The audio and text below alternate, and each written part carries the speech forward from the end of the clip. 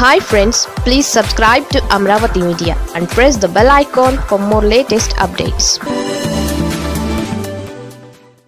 టీడీపీకి లేని భవిష్యత్ గ్యారంటీ తమ్ముళ్ళ తన్నులాటతో యాత్రకు బ్రేక్ ఆంధ్రప్రదేశ్ రాష్ట్రంలో రాజకీయాలు రసవత్రంగా మారుతున్నాయి.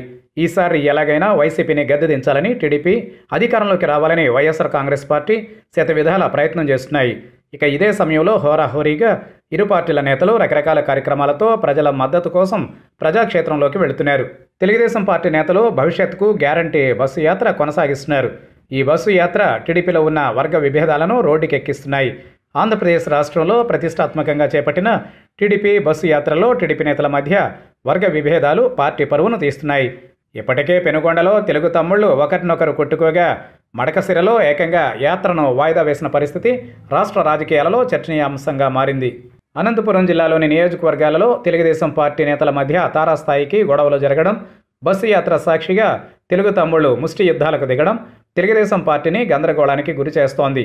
తాజాగా సత్యసాయి జిల్లా పెనుగొండ టీడీపీలో సవితమ్మ బీకే పార్థసారథి వర్గాల మధ్య బాహాబాహి చోటు చేసుకోగా. ఇక మడకసిరలోనూ సీనియర్లు జూనియర్ల మధ్య ఆధిపత్య పోరు రచ్చగా మారింది.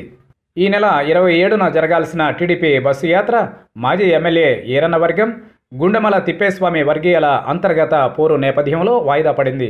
మడకస్థిరలో బస్సు యాత్ర వాయిదా వేసి అక్కడ జరగాల్సిన బస్సు యాత్రను కళ్యాణదుర్గం నియోజకవర్గానికి మార్చారు. మాజీ ఎమ్మెల్యే ఈరన్న వర్గం యాత్రలో పాల్గొంటే తాము యాత్రలో పాల్గొనేది లేదని గుండెమల తిప్పేస్వామి వర్గీయులు తెగేసి చెప్పారు. వాట్సాప్ వేదికగా ఈ రెండు వర్గాల మధ్య రచ్చ కొనసాగింది.